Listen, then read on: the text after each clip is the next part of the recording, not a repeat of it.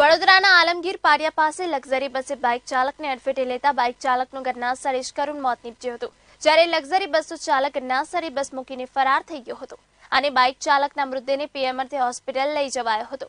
પોલીસે લક્ઝરી બસના ચાલક વિરુદ્ધ અકસ્માતનો ગુનો નોંધીને તપાસ હાથ ધરી છે.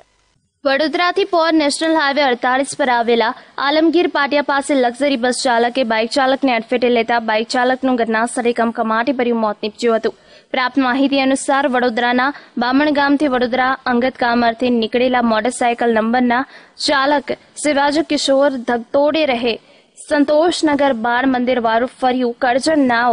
આલમગીર પાટિયા પાસે અમદાવાદની પટેલ ટ્રાવેલ્સની લક્ઝરી બસના ચાલકે પોતાનું વાહન પૂરઝડપે ગફડત ભરી રીતે હંકારીને બાઇક ચાલકને અડફેટે લીધો હતો અને લક્ઝરી બસને અડફેટે આવેલા શિવાજી નામનો યુવાન આશરે સો ફૂટ જેટલો ઘસેડાયો હતો. ઘસેડાયેલા શિવજીને આ માથાના ભાગે અને શરીરના ભાગે ગંભીર ઇજાઓ થતા તેનું ઘટનાસ્થળ ઉપર કરુણ મોત નીપજ્યો હતો. અકસ્માત એટલો ભયાનક હતો કે બાઇકનો કૂચડો બોલાઈ ગયો હતો અને ટાયર પર છૂટા થઈ ગયા હતા. હાઈવે પર માટેલા સાંડની જેમ દોડતા વાહનો પર ટ્રાફિક પોલીસ નિયંત્રણ લાવે એવી લોકમુખી ચર્ચા થવા લાગી છે. અને અકસ્માત સર્જનાર લક્ઝરી બસનો ચાલક અકસ્માત બાદ બસ ઘટના સ્થળ પર મૂકીને ફરાર થઈ ગયો હતો.